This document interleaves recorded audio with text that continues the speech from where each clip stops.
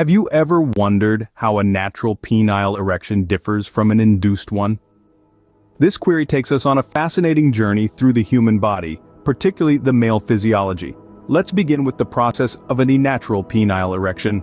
In simple terms, a natural erection is a physiological response to either sexual thoughts or direct contact with the penis. It's an intricate dance between the brain, the nervous system, and the blood vessels. Once the brain is aroused, it sends signals to the nerves in the penis, triggering a rush of blood into the penile artery. This sudden inflow of blood causes the penis to enlarge and harden, resulting in an erection. This entire process is involuntary, meaning it's not something one can consciously control, it's a natural response of the body to sexual stimuli. So now that we understand how a natural erection happens, let's delve into the world of induced erections. An induced erection, unlike a natural one, is a result of medical intervention or the use of certain devices or medications.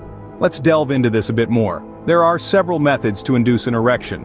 Penile injections, for instance, deliver medication directly into the penis to stimulate blood flow. Oral medications function similarly, but they work systemically, meaning they affect your entire body, not just the penis. Then, there are vacuum devices. Essentially these create a suction effect that draws blood into the penis, causing it to become erect.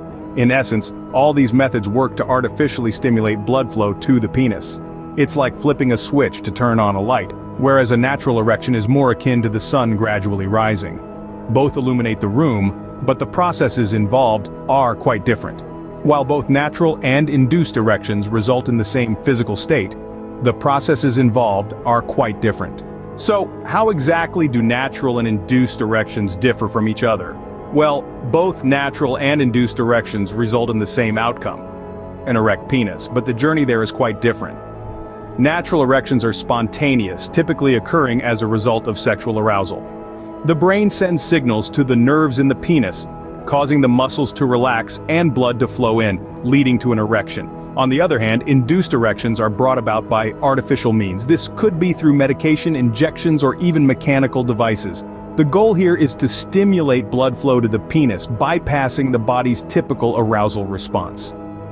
While both types of erections involve the nervous system and blood flow, the triggers are different. In one case, it's spontaneous arousal, while in the other it's a form of medical intervention. In conclusion, whether natural or induced, an erection is a complex process involving the nervous system and blood flow. The key difference lies in the trigger, spontaneous arousal versus medical intervention.